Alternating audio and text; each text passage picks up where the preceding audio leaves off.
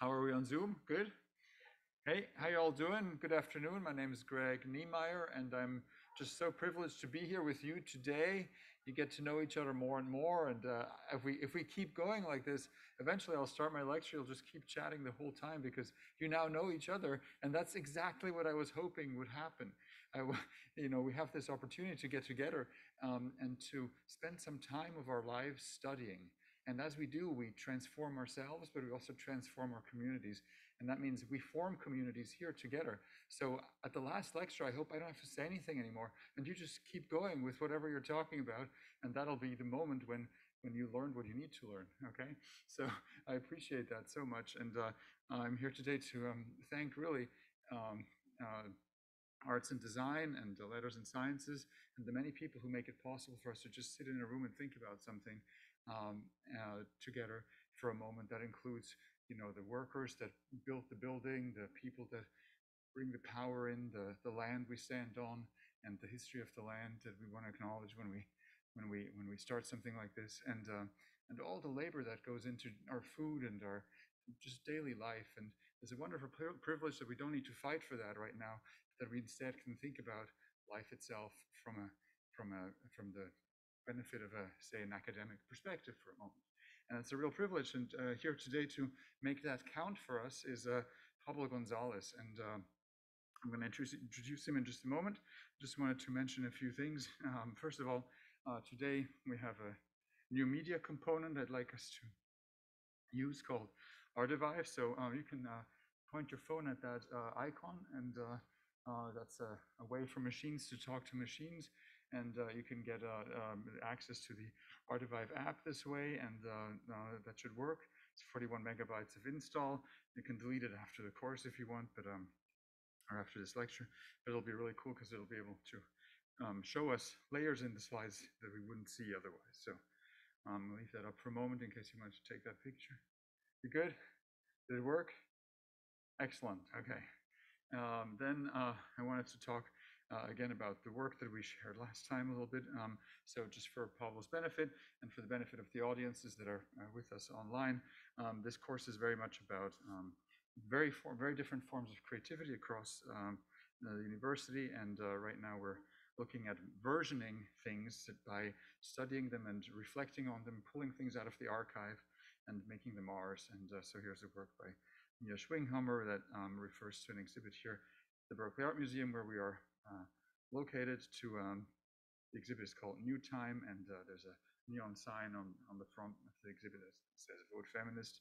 And here are all the other voices that come up when we see something called, uh, when Mia saw something like Vote Feminist, all these other voices came up for her, and uh, that just deepens the context of the work, and is exactly the kind of drawing from the archive and versioning that we're talking about here. Um, in our current project, we're going to be inspired by Pablo to go look at the city as a source of information and inspiration, but also of contest, like what, what city we, do we want to live in?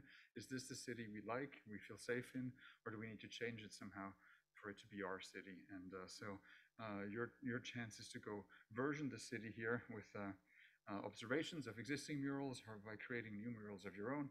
And I just want to acknowledge that some of you already had gone out and sketched a mural and uh, uh, had interesting experiences standing there sketching something where people saw you draw something and uh, saw this as one student of ours draw something and walked up to her and talked to her about why she was drawing this mural. And that clarified that there's a community looking at a mural uh, in a kind of a passive way. And when you stand there and look at it carefully and draw it you turn that passive observation of the mural into an active observation. And that active observation is um, uh, a form of witnessing, witnessing change, witnessing advocacy. And uh, so it was really beautiful how, uh, you can see it in our, our bCourses. It was really beautiful how that first project that was posted was already reflecting this kind of act, uh, active witnessing things. So uh, speaking of witnessing, we're now going to go on to um, talk about social movements. And uh, our guest speaker today indeed is Pablo Gonzalez, a dear colleague, uh, professor of ethnic studies at UC Berkeley, and uh, he's a first uh, generation Chicano scholar activist, born and raised in Berkeley, California, and uh, uh eventually, um, he, he, got a, a, BA in Chicano Studies at the University of California, Berkeley, went to study his, for his PhD in the University of Texas, Austin, and then started writing his dissertation, finished his dissertation on Autonomy Road, the Cultural Politics of Chicano and Autonomous Organizing Los Angeles, California, and uh, he's in the middle of publishing this as a book. It, how's that going? Almost there. Okay, onwards.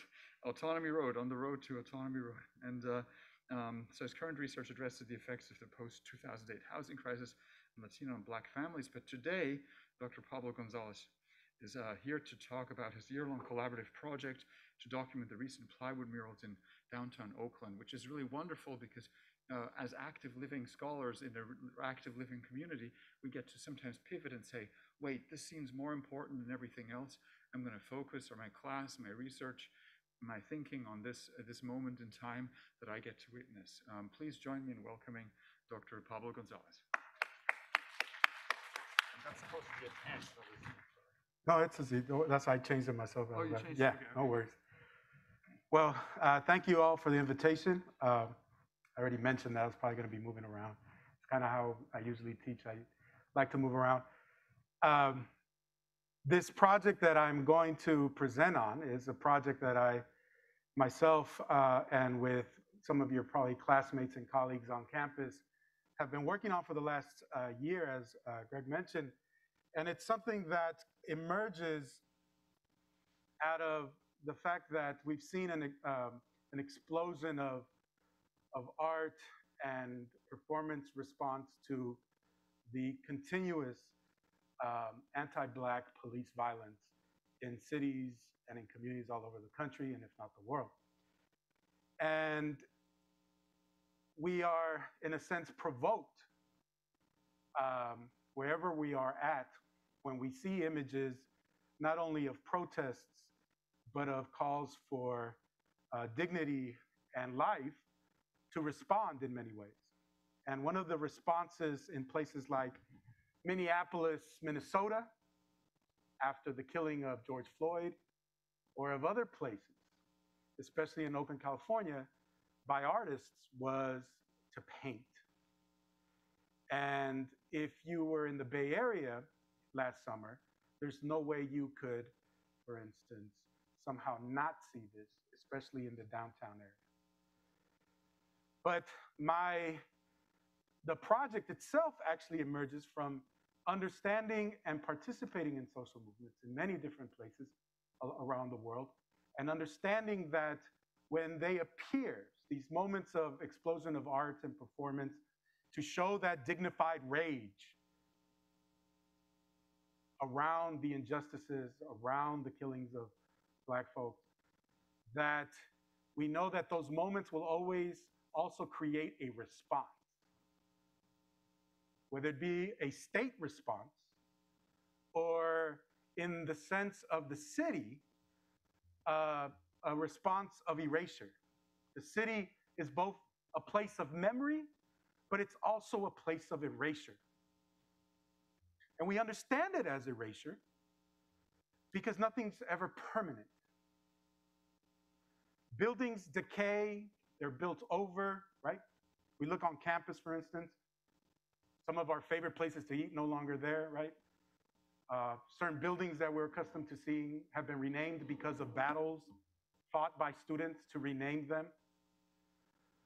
So the very nature of urban landscapes are always in tension with these calls for dignified rage, for dignity, for life, and so on. So this project, in a sense, stems from that.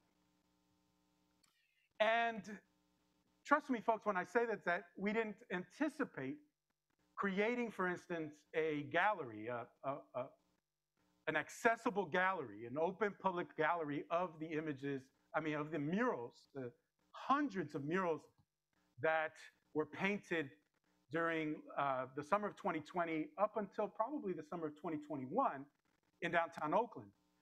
But there was, again, many of us in our different calls to show solidarity, to be uh, in community or to build community, thought that there might be a need here to document something here.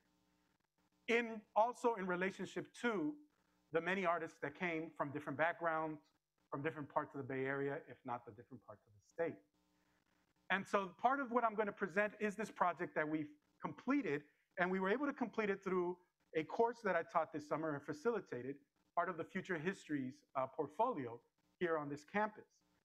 And the students were tasked with uh, putting together and mapping where these murals were at, finding where these murals were at, and finding out that they're no longer there.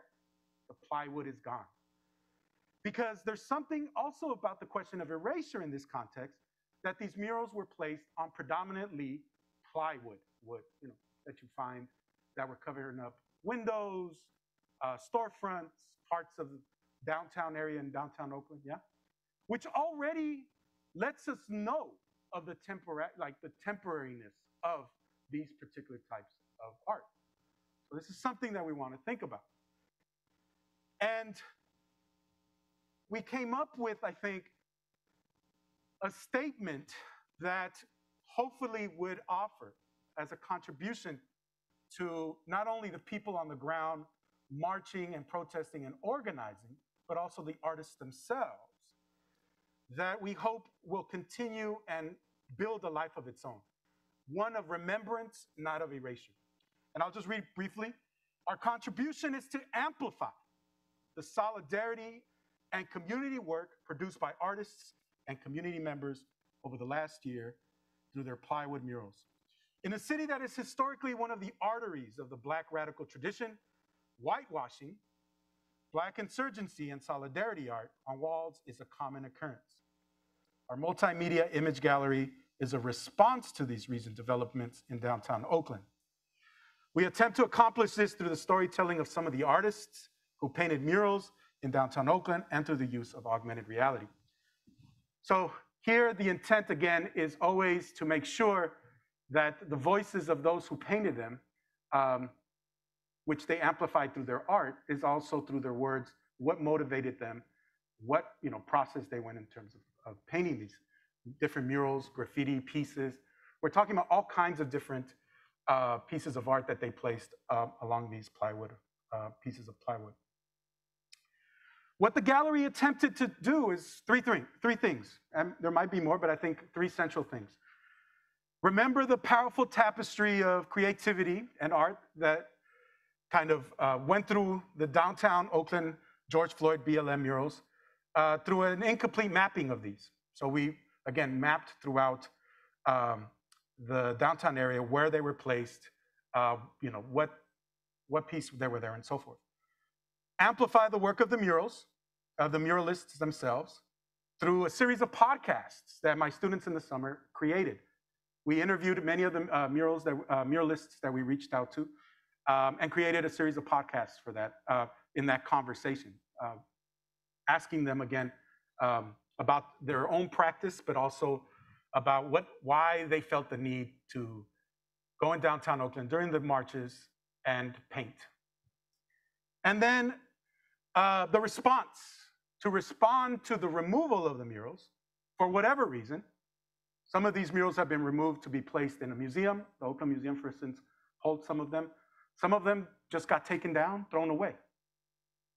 So, to respond to that already erasure, because if you go to downtown Oakland, you might find some new murals, but definitely not the ones that initially were placed there during the summer of 2020. How to create a, a remembrance of those, of what was there, so that the whitewashing, and the whitewashing we'll talk about in a second, um, is not something that characterizes the type of insurgent urban space that we might imagine. And, go, and again, we always hope that this is a place of encounter for some form of collective liberation.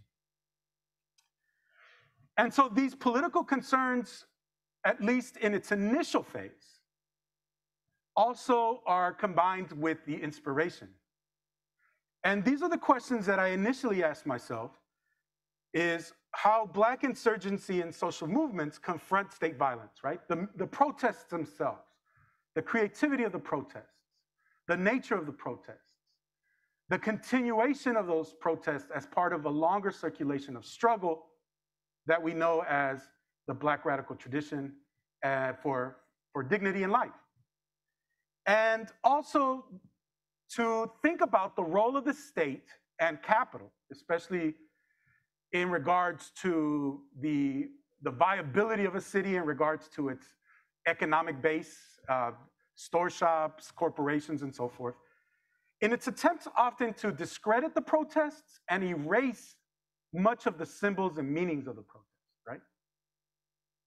And this is something as a social movement scholar I always think about, right? Social movements are not solely just protests. Social movements are not solely taking to the streets, but taking to the streets becomes, for many, that act of rage that develops into so much more, that flowers into so much more, that has in its capacity to grow into the social fabric of communities, especially as they often are faced with senses of hopelessness. And so, from hopelessness, we always find hope. But those moments of hope are oftentimes the catalyst for those, are the creative explosions that we find. And so, in this explosion of solidarity art, because it is a form of solidarity art, many of the artists themselves are not Black or do not identify as Black, uh, emerge as this new form of, of solidarity. And at the same time, they're confronted with this question of whitewashing. Now, you can use the Artivive image, and I'm hoping it works because we try to test it out. What we did, and what I was thinking here was, at some point, these things are coming down. As soon as you see the beauty of these murals, you know that at some point they're coming down. And whitewashing has its history. I always teach my students of a particular whitewashing um, in Los Angeles, California in the 1930s of the famous uh, muralist artist David Alfaro Siqueiros, who in 1932, in the wake of mass deportations of Mexicans called repatriations, painted America Tropical, a critique and response to American imperialism.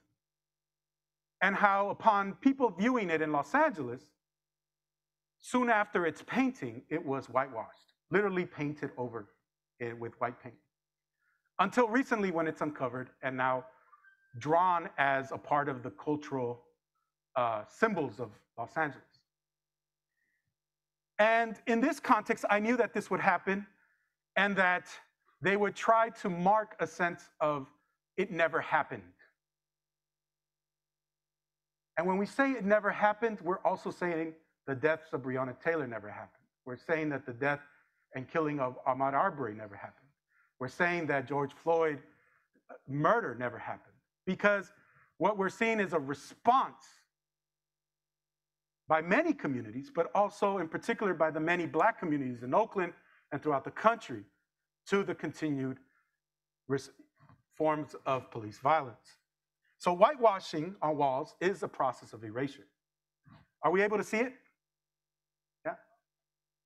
It's not working?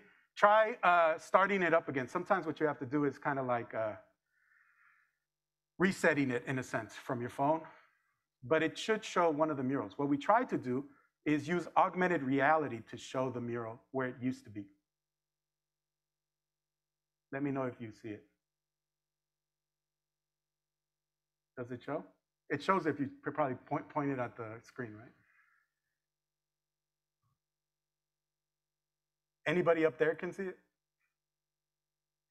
We'll figure it out. It's, it's again, we're, we've, we've tested and tested, but it always kind of is. I'm sure people on Zoom are able to see it. but uh, there'll be some others. But in this particular case, these images, what we tried to do with augmented reality was to show the after, but then put the pictures of the murals that used to be there. So as to make a point about this question of erasure make a statement of this erasure. So in this case, you'll see, for instance, the image of Malcolm X and a quote by Malcolm X. Now, we also asked several other questions. And these are, I think, questions that we would ask in regards to understanding the moment a little bit better. What does it mean to produce public art, much broader speaking, in a, in an era of permanent protest. And I believe we are in an era of permanent protest. If that era, at least in the last 500 years, has always been in a permanent resistance. And so that understanding of the role of public art here is something that we asked ourselves. We also asked the role of art collectives and of artivists, as many of them call themselves, in constructing these murals. And we asked what kind of techniques and forms of public art they themselves produce and the approaches they took. Now, my entry into this is in the work that I did in solidarity with indigenous social movements, especially in southern Mexico, and the use of symbols, uh, especially of insurgency, of, of changing communities, in particular in Zapatista communities, that were murals that were painted by and in collaboration with communities all over the world. In particular, in my case, with Chicana and Chicano activists from the United States. Murals that they came to down south to Chiapas and in, with Zapatista communities painted dozens of murals all over the Zapatista region of Chiapas. And at the same time, even famous uh, black artists like Emory Douglas, the, the graphic designer extraordinaire of the Black Panther Party, um, went down to Chiapas and also painted with Zapatista communities. So you see, in a sense, the bringing together of different radical traditions uh, in response to much global processes of inequality and racism and injustice, but also in the bringing together of different stories. Now, what brought us then is, as I mentioned, this question of the continued police violence and murders of through uh, the increase of white supremacy, of white supremacist violence against black men, women, and trans people through that drew massive protest and mobilization throughout the country. And in particular, the May 25th murder of George Floyd by Derek Chauvin in Minneapolis.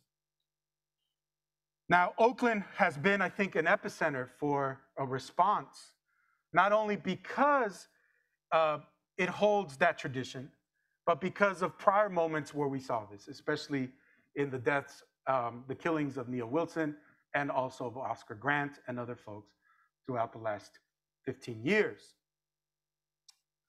I'm hoping y'all can see this one. No? Can you see it through that one, Greg?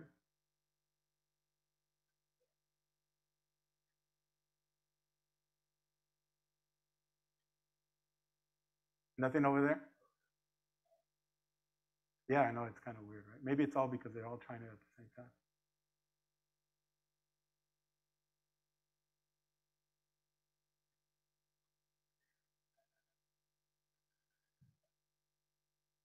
Okay, let's try it.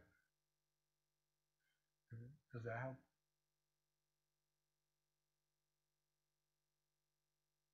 Might be the angle. Artivive is kind of quirky sometimes, especially if you if all everybody's looking at it at the same time. Um, it, it's you know just like any augmented reality, it's picking up different parts of an, of an image and then having to register those. That's already registered. Yeah. The blinking eyes, yeah. And it's a little bit kind of 2D. Some of them have video, and let me let me see if we can get the video ones. Yeah.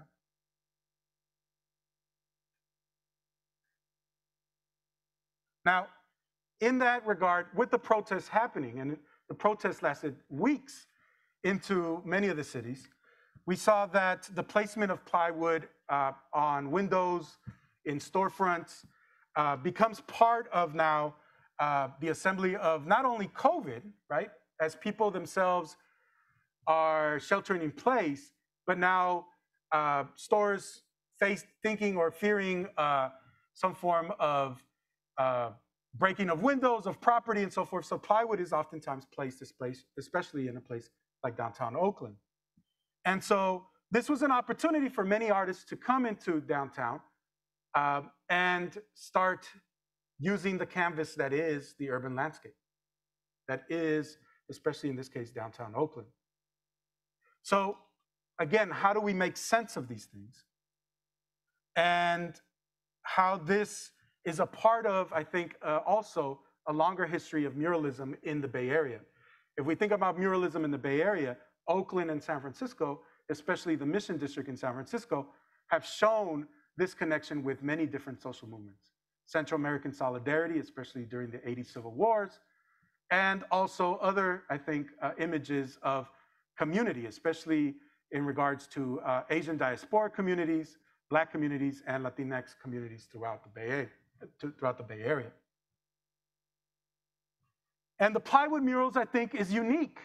And in fact, what we find in other places, especially with other projects that have tempt to, tempted to map the murals, is that, the, again, the, the very nature of the plywood becomes a, a medium, a temporary medium, that uh, it, it's, it already for the artist, especially the, the artist who either uh, is a graffiti artist or a muralist, is an opportunity to ex of expression. It's their, as one of them says, it's their podium to, to, to respond to in whatever way possible to the injustices that are happening around them. Uh, and so businesses very much put up these, and many muralists actually in, you know, ask for permission from these businesses to paint on them. And some businesses even asked some muralists for them to also paint these murals. So there was, in many cases, collaborations between the businesses themselves and the muralists. But in most cases, people went up, found a spot, and started painting. And they did this throughout the entire downtown and into Chinatown area. Now, at some point, they were taken down, and our class, upon making a trip to the downtown area, found that a lot of them were missing. And most of the store owners didn't know what happened to them. Some of them were collected. Some of the more famous ones, and I'll show you several of them, um, are now part of a collection that a uh, community center uh, was able to collect and part of the Oakland Museum collection. But many of them are completely gone. In fact, some of the uh, well-known muralists, uh, some of their pieces, they don't know where they went. No one ever told them that they were being taken down and so forth. So again, the permanence of this is just a sense that they're going to be temporary, and now they're gone from the downtown area. Now, if you go to downtown, you will find murals, some of them still there, um, and some of them are now uh, recently painted. And you will also find all kinds of other types of art or some kind of response. But we can talk about what those might be and whether or not they are, in a sense, a way to um, almost undermine the nature of the plywood murals. And so we took pictures during that summer of 2020, uh, and we found people painting. So these are of some of the muralists that just went and started painting. This is right at Oscar Grant Plaza, what is called Oscar Grant Plaza. And we took pictures. We started a map where they were. With the anticipation of what we knew the city always responds with, with which is bringing them down. And we thought of how to be able to respond in using new media, which is the augmented reality, uh, to respond to this by knowing that sooner or later we were going to place these um, for people to see. Now, if you see a gallery and all you see is storefronts, you're going to be like, what kind of gallery is this? So the augmented reality shows you this other layer, this, this clandestine story of murals that are no longer there. It brings to life again the story of insurgency, the continued nature of Black life in Oakland, which we all know because of cost of living, because of police violence, because of many different reasons, me, has meant the black flight of people from Oakland into other communities. So, how to respond to that and how to make sure that through art you're able to do that. And that's, I think, one of the major issues that we ourselves thought about in regards to um, this particular type of explosion of art. And these are some of the different paintings that you saw. Uh, this is around where Peet's Coffee's at. Uh, you saw, again, tons of different styles of graffiti, um, of different type of art and so forth, uh, images of uh, George Floyd, uh, Breonna Taylor. Um, sometimes you would just have the name of people that had been killed by police violence along the, uh, the different walls um, as a remembrance, as a way of honoring. You saw altars, especially to pay, uh, again, respects to those who have been killed. Let's try it again. Let's see if we can do this one. I should be able to see it on mine.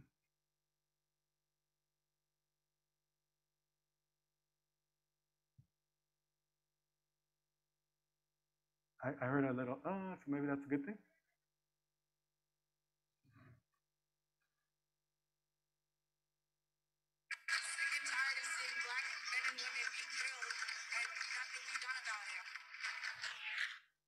Y'all see that part? So this one, uh, students, and these are all done by students uh, just like yourselves. They embedded videos that we got from different news sources of the protests all over the country. So in this one, you'll see a video when you point it. So it's not only, for instance, uh, a question of, of the whitewashing wall and then the image that used to be there, but sometimes we put, for instance, different ourselves, uh, different uh, responses or homages or altars in a sense. In this case, we put a video that we created of the different protests. And don't worry if you can't see them. Um, I'm going to give the link for the entire gallery. You're going to be able to have it. And then you can, on, on your computer, be able to see it yourself, yeah? So you could see it. And it's, it's a, I mean, we made that website so slow because it's so many of them that we put up that you'll be able to see that. Uh, this is another one. This is by one of the, this one has a little bit of the interview by one of the uh, muralists, El Maldito. And, it, and this one, in a sense, talks about um, the connections between the killings of, of black people by police and also of, of brown folks in East Oakland, in particular, the killings of Erik Salgado and others.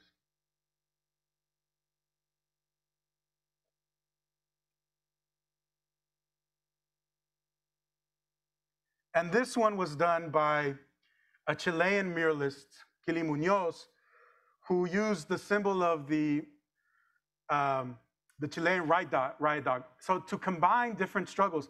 During that summer, if not through the spring, there were mass protests in Chile around austerity, around uh, police violence.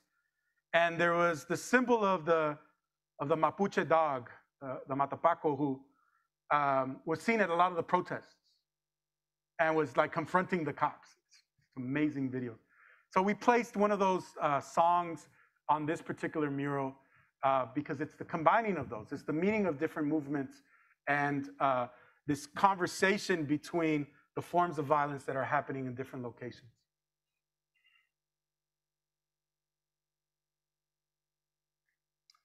And then we and part of that, we, we interviewed a lot of the muralists, and I'll play this real quick because I know we're definitely short on time for things, but I want for you to listen to this. And this is an interview with one of our muralists, uh, Lakina, and here she describes, I think, a little bit of what you know motivated her in terms of painting her piece. And the piece that you see below, the one that says protect, is the one that she did. Oops, let me go back.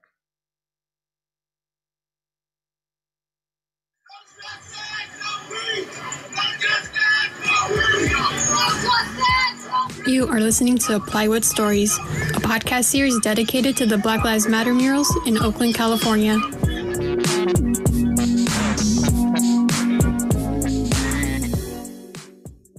we noticed that a lot of your art you know intersects with activism and especially during these times you know regarding last year's events with george floyd's murder and all of the BLM events that happened, our minds are reflecting back to last year, which can't believe it's been a year. And you know, the, the conversations are still happening. I, I we're we're hoping that those continue. But um, your art is able to kind of preserve these feelings that we felt last year.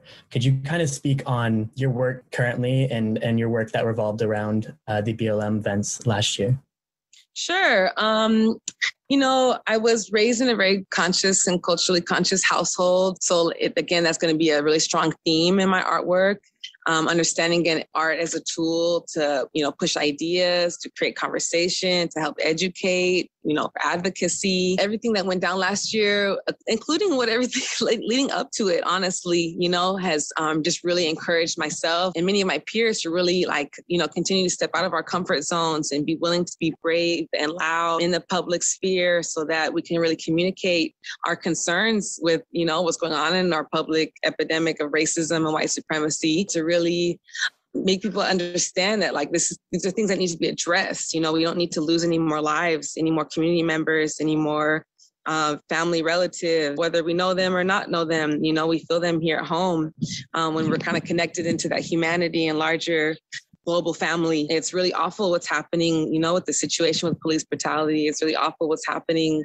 with lack of justice being served to our perpetrators who have licenses to kill. For many people, it could be interesting that, uh, to see art as a legitimate sort of tool in defense to protect ourselves, to be able to, again, do some of the, facilitate a lot of the healing work that we need to do as well, so we can continue to do the work that needs to be done instead of constantly feeling traumatized or in grieving mode. One of the messages I would like to be able to offer in this conversation today and through the art that I produce is that it's very legitimate, it's very powerful and potent, and we encourage it. And it's almost like even to address the fact that, for example, in many public schools, like art isn't being offered, music, dance, you know, those things aren't being offered. And it could be a awesome tool that we can use so that we're not dealing with a lot of the problems we're dealing with today. This was also during the time that um, I think we were like the shelter in place was pretty strong and they had the, the curfews. They didn't want anyone coming out into the streets. And um, I really want to honor the spirit of Oakland and the spirit of cities similar to ours that the heart of the people is very strong and we want our voices to be heard. And we can't just be silenced very easily. And so one of the pieces I'll will be speaking more in detail about the protect life piece was definitely born from that, you know, contribution of resistance. We won't be silent as our fallen brothers and sisters are being taken out, you know, innocently, and that we do need reform in a lot of our systems, a lot of our public services. This mural um, is in downtown Oakland and is surrounded by a lot of other murals. And there are a lot of them are being created at the same time. What was it like to be creating this mural either at the same time or around the same time as other artists who had the same feelings as you? Well, it's awesome. I mean, we're definitely having an arts renaissance and a resurgence of art, again, as a really necessary tool. I mean, there's also a movement around the artists being essential workers. I'm not sure if y'all have had a chance to hear some of those things going on, but, you know, we're here as also first responders. You know, we're doing a lot of what I consider considered very spiritual work, you know, and healing humanity. And we are we we all have a chance to kind of speak at this podium. And the podium at this point are these these blank walls, these boarded up walls that make our our city at the time last summer feel very much like this really Armageddon zombie apocalypse, kind of really bizarre experience and amazingness of transformation is happening when artists are being called to, you know, say, hey, express yourself and what, what you're feeling. And it's a beautiful kind of like melting pot, right, of different perspectives, of coming from different backgrounds and different age levels, everything, you know. And we're all saying we have the right to respond to this and not be quiet about what's happening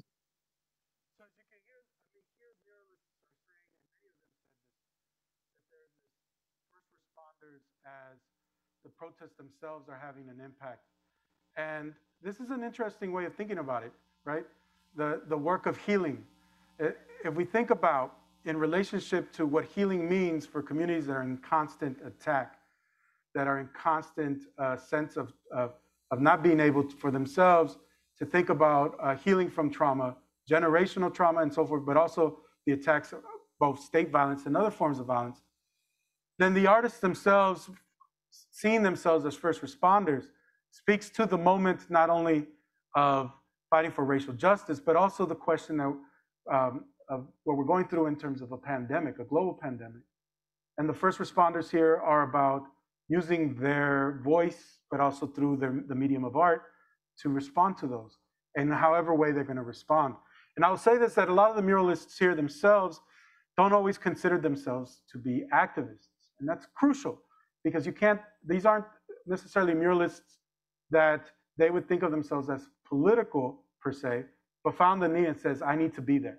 I need to show this particular uh, point of view that I have and I need to be there in solidarity.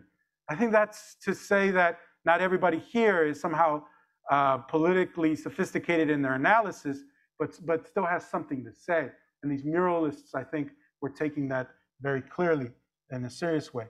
Um, this one here is by Peasy, and I'll play this. Uh, it's a rather um, short one. What does solidarity mean to you, and how does your art further this solidarity with different struggles or uh, with a specific movement? Man, I think solidarity is so important because you have to start somewhere. But once you put your voice out there and you see other people that are on your same wavelength, it's important to come together, start a movement together if you guys feel passionately about something. And for me, I think, especially with the Free Palestine movement and giving information out that's valuable information if people don't understand what's happening right now, just to show solidarity with different groups. And I had seen a post that was like, if Black women are liberated, everybody's liberated. And I think that comes from the fact that we are a suppressed group and we can help other people that are suppressed as well. And we can all come up together.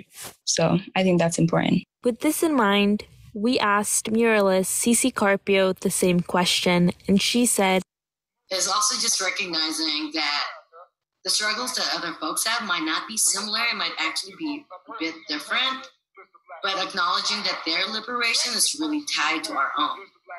Yeah, I I totally agree. How do you feel about like the role of an artist in creating solidarity with other movements that you don't necessarily belong to with your personal identity? Like you said with the Free Palestine thing, like what do you think about artists from a different group creating art to speak for somebody else. Do you think that that can be a positive thing? Do you think it can be harmful? It can be harmful if you don't have the right education on it. If it's just something that maybe you were thinking about, you have to make sure that you're asking these people, especially the ones that are facing the challenges themselves, to make sure you see it from their perspective because sometimes it can be different when you see it from an outside perspective and you're not actually living it. So I think it is important, but I think seeing art is a great tool because it's not just throwing information at you, it's making you feel something something. You can be emotionally connected to art and it can hit you in a different way than just a textbook or media. But I think it is important. For that this piece right here, uh, again, uh, the, the what we did with the Artivive for this is we filled the TV screen with again videos from the protests and from other parts. Again, just trying to show a little bit more of the moment um, and also of the work that PZ uh, had done throughout the different uh, murals that she painted. Here's another uh, one that we also did um, that has, again, another set of murals and so forth. Um, and it, it, I think, again, as we started to put together some of these uh, um, Artivives, some, some of these augmented reality parts, if you were to see this and point it at it, it would, it would show up. Um, it's working out for you. And, and we, we, again, our, the students really try to think about the message and how to respond, and then to, to also pay respect to the artist, but also to the movement itself. Always thinking about that engagement and that conversation and what it might mean. Now, at some point, again, when we came back and found that many of them had, gone, had left, we started to see here that uh, what does this mean? What happens in this collective show of solidarity a year later of dignified rage once the plywood is removed.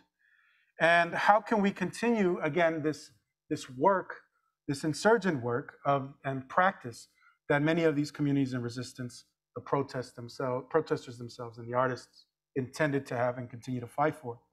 And so again, this was part of our uh, response, something like that. And here, the, the image here of the storefront uh, in downtown Oakland is to show one of the more famous uh, murals, which is uh, Carpio of Trust Your Struggle, um, of a mural that shows uh, um, eh, Black lives and Indigenous lives. So it's the meeting of both uh, Black and Indigenous uh, peoples and show of solidarity. And it's, I think, one of the more um, symbolic or at least well-known images of the murals in downtown Oakland, um, if you can see it and uh, some of these that I'll show are just storefronts. And again, you might look at them and be like, that's not a mural. In the Artivive, we attempted to, again, place the, the, the, murals that are there. Can you see those, Greg? Let me see if I can see it with mine real quick. Can y'all see? Y'all see it over there, right? Because you have the thing.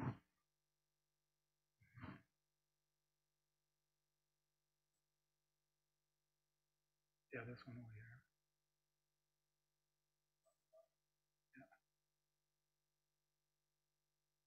So we try to, in a sense, put the where it's at, and right here, you know, you could see the uh, one mural right there, and and it's and it's uh, it's it's to again show the plywood and where it used to be there as a response, and some of them have audio, some of them are just the mural itself. This one um, has Breonna Taylor. Again, these are really hard augmented realities to do. Why? Because augmented reality in this case picks up certain points. It's kind of like this, uh, you know, the dark side of augmented reality is facial recognition. So it tries to recognize certain points. So what, you, what are you going to find in terms of a, of, a, of a window, right? It's very hard to pick it up. So we really tried to make sure that it was possible. And in this case, um, if, if it comes out, which is a lot harder here, um, the, the image of Breonna Taylor, the, uh, one of the murals, and I'll show you in a second uh, that as we get into the other period. And in this one, there's um, another saying here, um, uh, just us. And this one, um, again, is, placed there.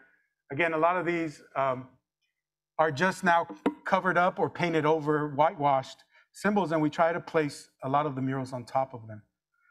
Um, this one uh, also had one, I think it says Oakland Pride. And, and it's just the storefront in this case, but it says Oakland Pride on it. Yeah, y'all see that right there in the front, right? It's like those are folks are the ones that got all the all the. And in this one, you also see um, much of the archives of the different ones.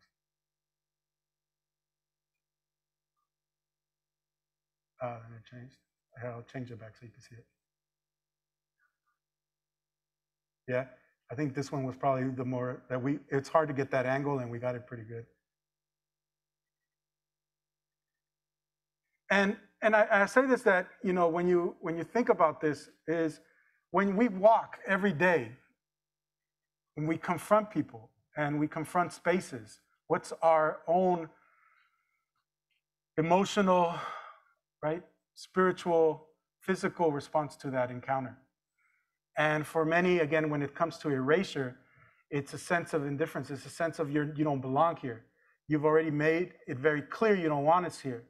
And so when you show this and you're able to use this as a like as a response, I think it's to say we are still here in spite of everything. And uh, and I think that's one of the, the things that we wanted to do with this. So I'll end with that, and maybe I can actually pull up the website so that you can see how we came up how it looks like in that terms. But I'll end there so we can take some Q&A right on the dot from where I think you mentioned we should say. Let me just pull this up real quick. And then we'll, you can see the actual, I can kind of scroll through it if you have any questions. Um, and, you know, it'll take a little bit to, to even load it because this is how, how, how big it is. But if, you got fast internet here, so. So this is how it looks from the gallery perspective. And this is just kind of our collective um, statement, but then we go into the, the podcasts that we made. So you can hear link to the podcasts. We have several podcasts and we're still growing in podcasts. If you all are interested in maybe working or helping with us, please let me know. I'll be, I'll be down to, you know, if you're wanting to do this. There's a, you know, there's tons of stuff that we still need to do for this, and it can only be done with people power. It's not going to be done with anything but people power. Uh, we teach folks, you know, just really quick how to use Artivive from this particular context, um, and then we go through the through the actual mural. This is We Got Us is one of the more famous ones. This was done by Cece Carpio as well, and you could see the altar altar here, where there was a particular ceremony that was done, especially for um, the uh, lives of black women who have been lost by police violence and domestic violence and so forth. Um, this is the one that I was talking about in terms of indigenous for black lives, the one that was also taken down. And Cece doesn't know where this one's at. She, she um, in one of the interviews with her, and uh, you know, I consider Cece a really good friend, and she said she doesn't know where this one's at. So we put the, uh, the, the image here for them, for people to see the archive of where it used to be. And then we literally, I mean, this is without any kind of resource. All we did is go on Google Maps and, and snap, you know, screenshot and then place it where, where it was, it used to be. Um, we're hoping that we can do some kind of GIS and things like that, some fancy stuff, but we don't have fancy money. So it's one of those things where we are doing that. This is at Lucas Tap Room, um, the mural of the kind of some of the more famous ones here of Nipsey, and also of, of the woman who was dri- uh, riding the horse, which was I think very much a big big part of the mural of the protests in downtown Oakland. Uh, um, a symbol of the protests. Um, this is the Dead Presidents one by Blaze, who, uh, and, the, and th- that one has a particular uh, podcast. And we labeled these um, according to what we saw in the mural. So that none of these had any particular names. So, uh, you know, definitely if you are one of the artists in the crowd, we apologize if we misnamed them. We just title them from whatever was in the mural, um, because many of them didn't have that, right? Um,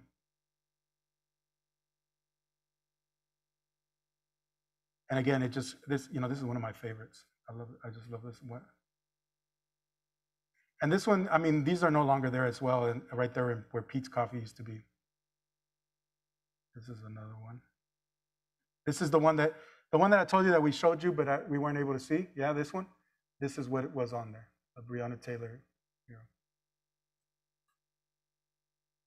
And this is them putting another painting on the side of it during the time. This is right there by uh, Oscar Grant Plaza. This one's really cool too. This is the one that uh, you all saw with the blinking eyes. Yeah.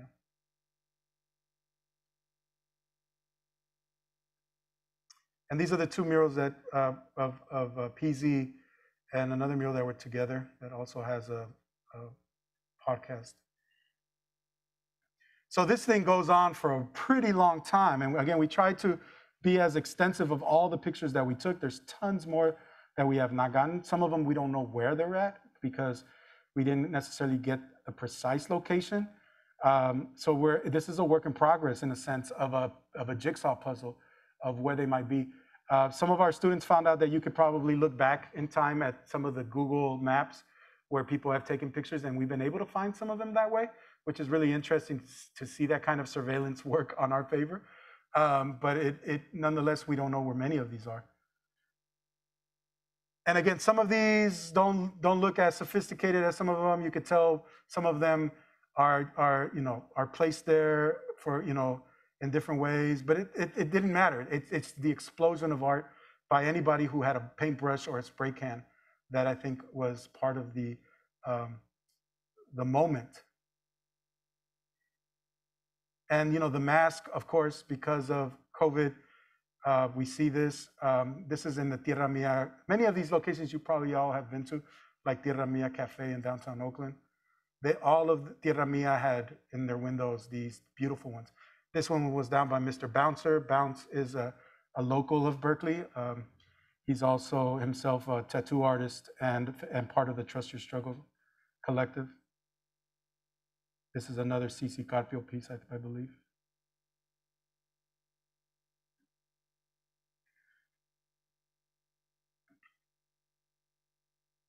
So as, as I go through this, if you have any questions, I'll, I'll be, you know, this is the one that I told you that had the Malcolm X mural. Um, I'll take any questions, anything that you all have um, in terms of comments. Um, but definitely, you know, thank you for everything. Yes, thank you so much.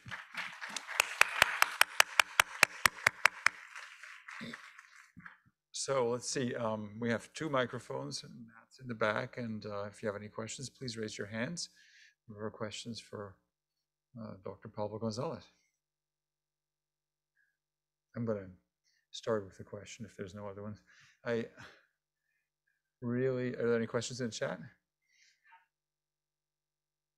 Okay, good, good. Well, well thank you for this uh, tour in, in both in space and history and uh, and of course in, in the struggle. And uh, I wanted to ask you about the many layers of murals. Yeah. And uh, because there's the city, and then there's the plywood, and then there's the painting, and then there's the Instagram layer on top of that as well.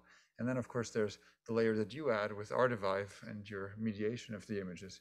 And so, images. Um, they, any thoughts about those layers and how they relate to each other? Do they all support each other, or are there moments where maybe they they challenge each other as well? Like, so that's a great question. I mean,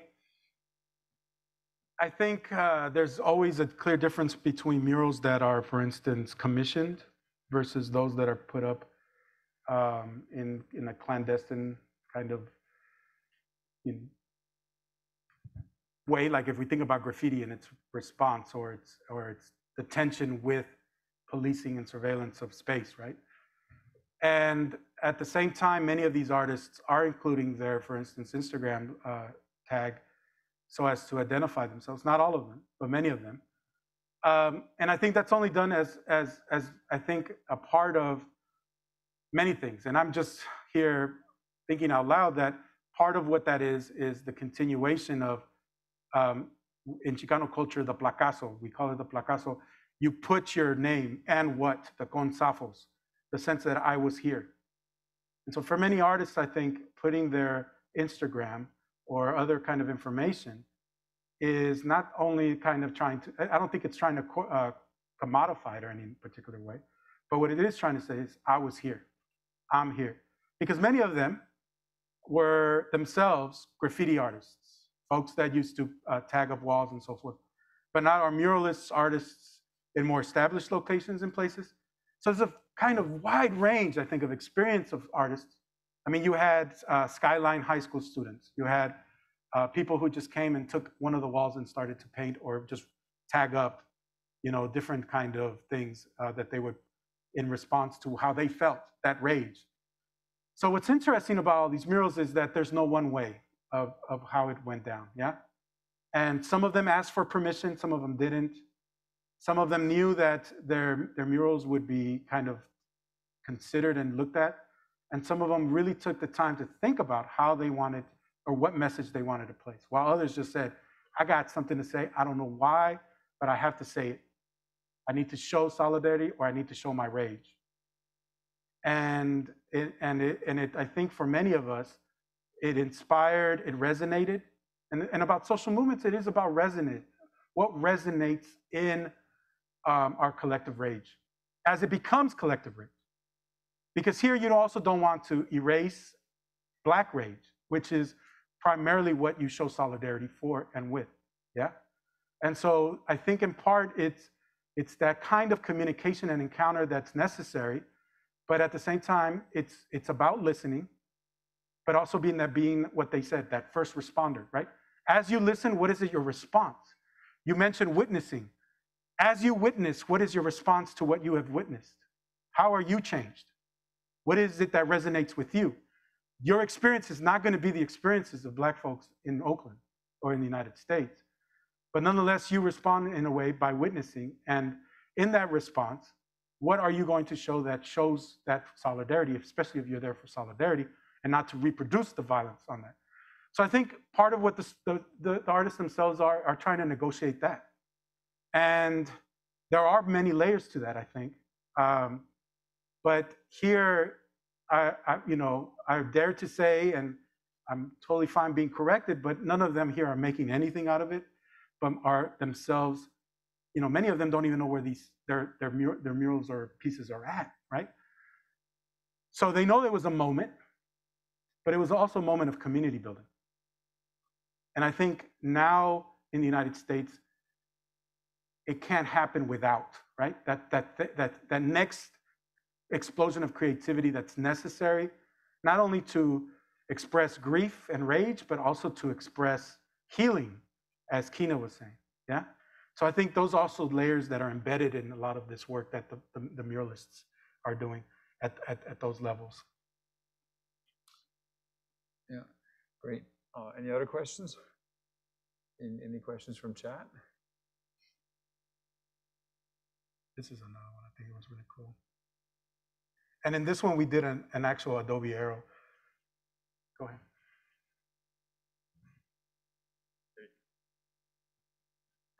First of all, thank you. That was such a wonderful presentation. I loved being able to see all of these, and it's wonderful that you guys have this database essentially of all of these uh, works of art. Um, you've talked a lot about, um, you know, how these, these murals are ultimately um, impermanent and kind of transitory. So I would love for you to talk a little bit about the power of a transitory medium because we've Mhm. seen that even though uh, often these end up whitewashed or painted over or you know they just disappear and no one knows where they are Right. um, they're still really really powerful um, show a lot of beauty and righteous rage and so i'd love to hear more about that Yeah, you know, a part of that comes, uh, you know, in my when I re- when I was doing my research or working in Los Angeles, there's a mural that I always pass by, uh, done by a famous muralist, uh, graffiti artist Nuke, and it was of a famous figure in Mexican cinema, Cantinflas, who was played by Mario Moreno. And Cantinflas is this kind of uh, the Mexican uh, uh, pelon, kind of like. Uh, the tramp like uh, Charlie Chaplin. And they and it stood about maybe this tall, right? The mural by by one of the local schools in El Sereno, right in the Greater East Side. And it said it said "Welcome to the barrio." It's kind of an entryway. And I always passed by there when I would walk by there, and and I never I always thought about the role of the of the tramp here, uh, especially in the Mexican context, which was a internal migrant. Ma- Many of them were indigenous to Mexico City, for instance. They were coming in in the 1930s and 40s to Mexico City to work, having to strip a lot of their indigenous ways and customs in order to become part of the nation meant losing the language and the custom, and then becoming part of the underclass. And so Cantinflas to me always represented that. And so when I saw this symbol, it represented the fact that the Greater East Side is that for the many different peoples that migrate to the, to the United States, in particular Los Angeles. And I say this because one day I passed by and it's not there. It's whitewashed. What does it mean to whitewash Cantinflas in a city like Los Angeles that's made up of mostly Latin American, from different parts of Latin America, um, communities? To whitewash Cantinflas is to whitewash the very nature of what's happening in LA.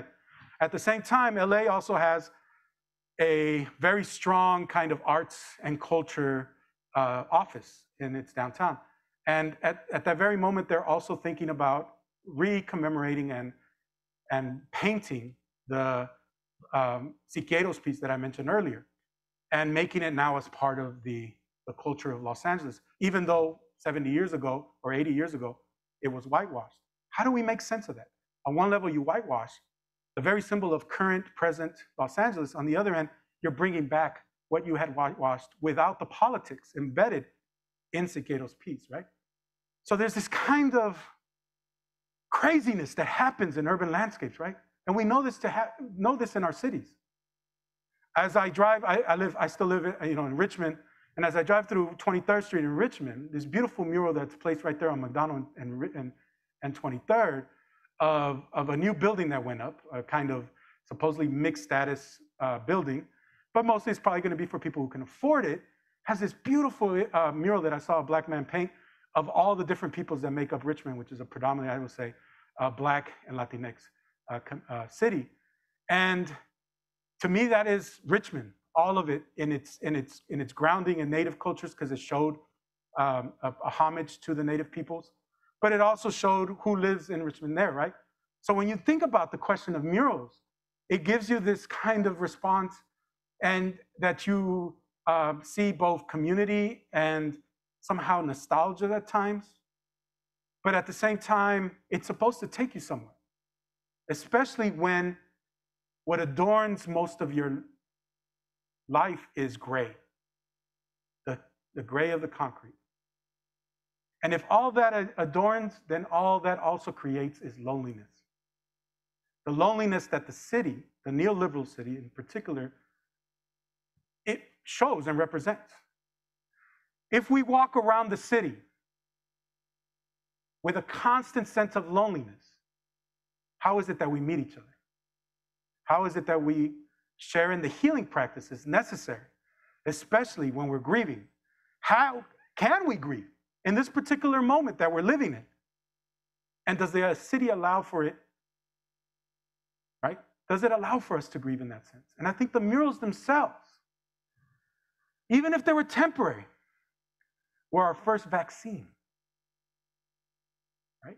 But the thing is, this country is not ready for that vaccine, especially when it comes to anti Black racism and violence.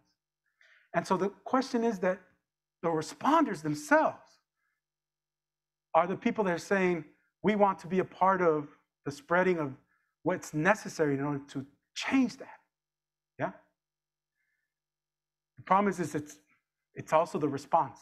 You try to erase the ever possibility of there being a cure. Right? And I think the whitewashing of it is the, is the sense of like, we need to not make sure that there's not a cure for this, right?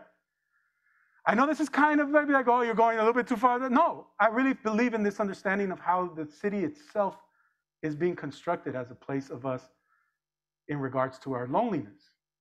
Yeah? And you take that in regards to our campus, and I always tell my students this as you walk through Sproul, often we never see each other, whether it be through because we have a mask or not, but we don't see each other. We're, we're afraid to bump into each other.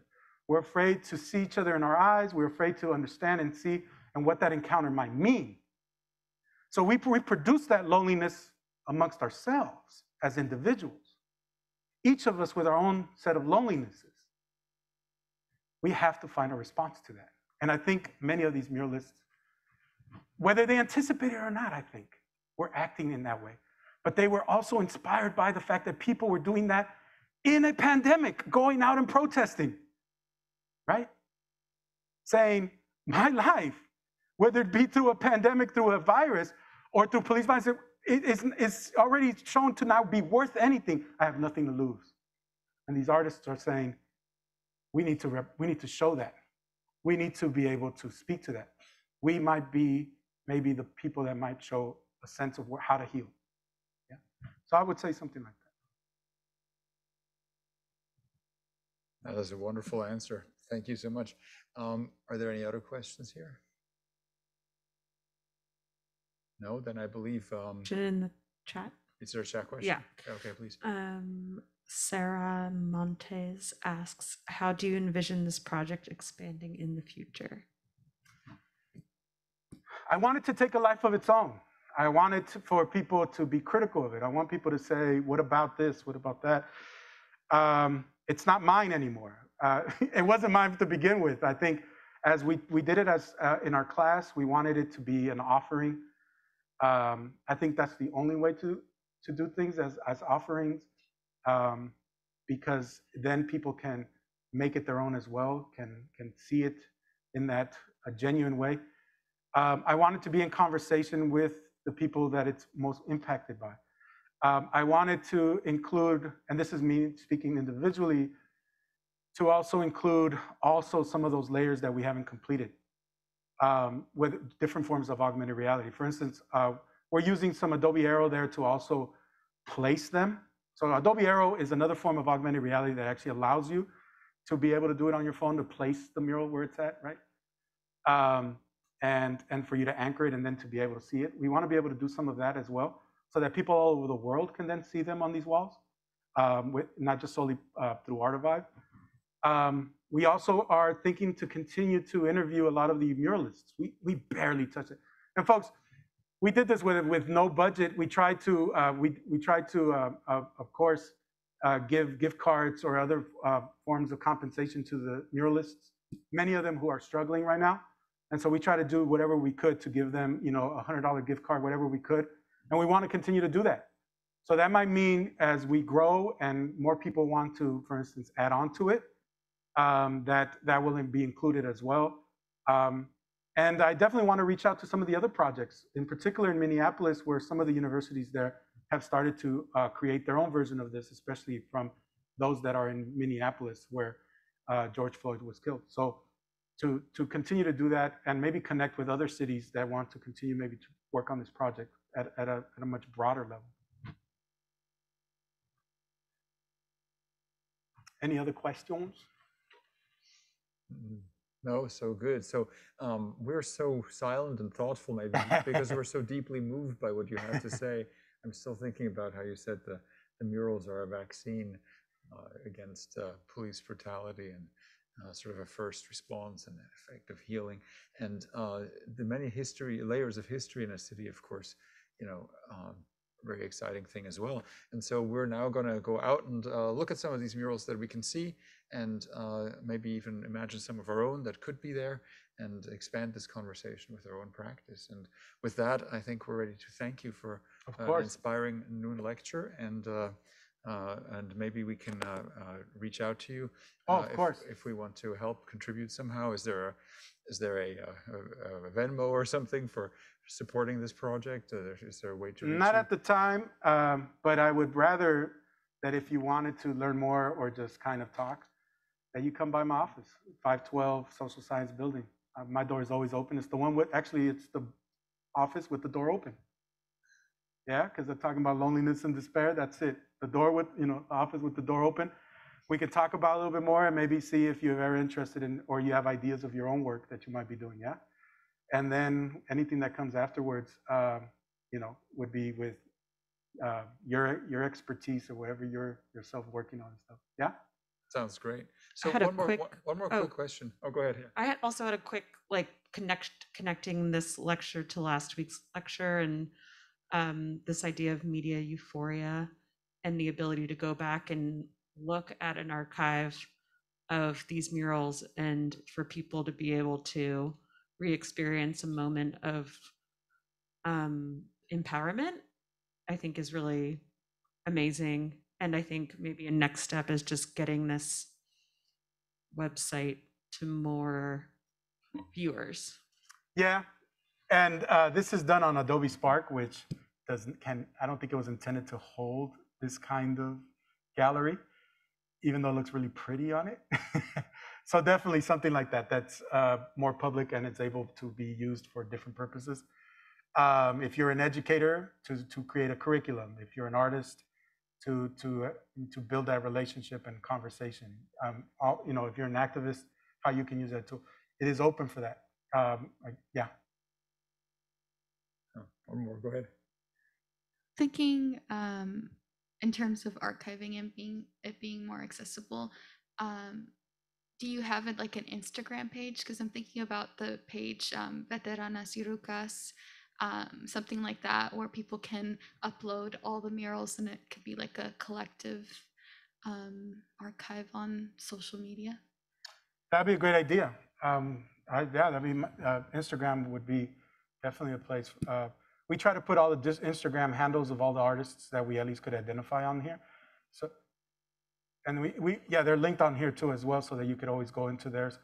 Um, but to also have like a page dedicated, yeah, something like that.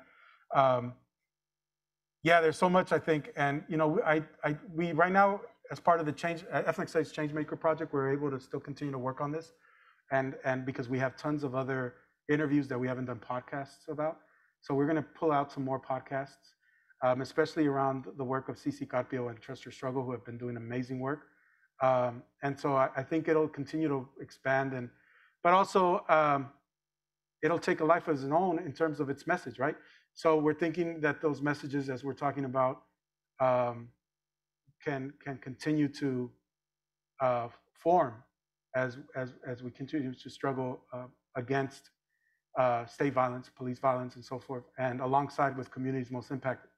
So I mean that's always the intention. Um, so definitely, I, I think that's a great idea. Any last? Well, no, definitely. Thank you all. Um, I love this. I love this place. I mean, look at this thing. Can you imagine all our classes being in a place like this? um, but thank you. Thank you so much. Thank you. Bravo.